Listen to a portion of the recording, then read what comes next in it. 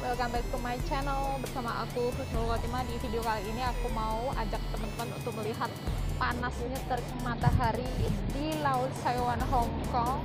Dan benar-benar panas hari ini di awal musim panas di tahun 2022 ini ya teman-teman. Yuk simak, simak videonya. Terima kasih.